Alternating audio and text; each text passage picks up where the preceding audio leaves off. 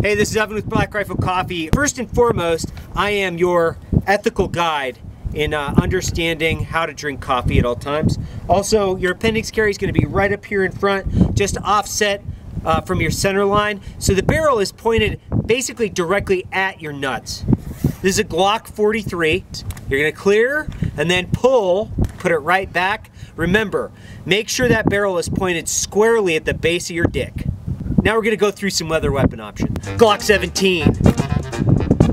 Mac 10. When you're not afraid to impress the ladies, you go Magnum. Woo! I'm gonna take the family down to Dick's Barbecue, and I have to protect myself and get a big, full stomach. Or is it a saute? I need a nutsack. Minigun. Time to die of cuteness.